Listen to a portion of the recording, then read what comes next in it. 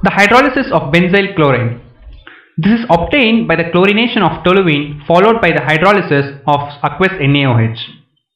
Toluene, also known as C6H5CH3, on chlorination removes the HCl group, thus forming benzyl chloride.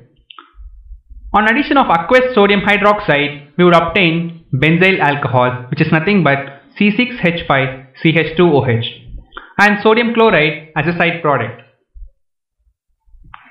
The formation of benzyl alcohol from benzyl chloride involves nucleophilic substitution. That is, this OH group attacks this chlorine and replaces it. This method is used in the large scale preparation of benzyl alcohol.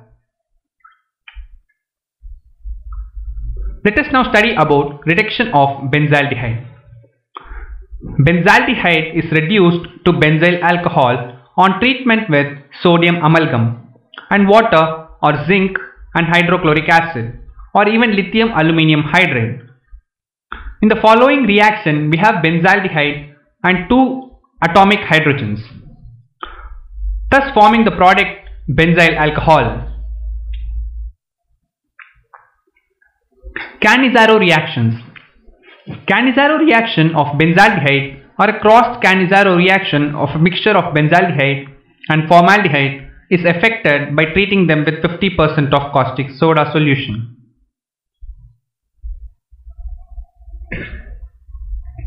This reaction involves oxidation of one aldehyde molecule to acid while the other aldehyde molecule is reduced to alcohol. This benzaldehyde along with formaldehyde is a complete mixture reacting along with water.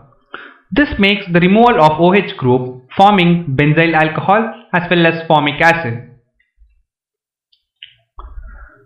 The crossed Cannizzaro reaction of benzaldehyde with formaldehyde, it is a formaldehyde that is converted to the acid and benzaldehyde to alcohol.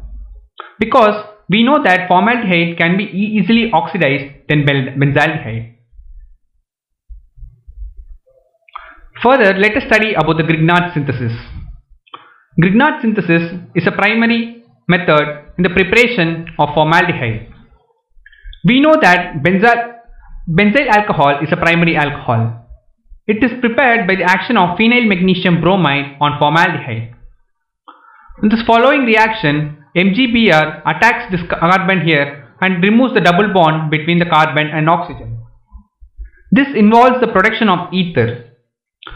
On further addition of H3O plus, we would obtain cross-linked product and the removal of OH group, finally forming benzyl alcohol.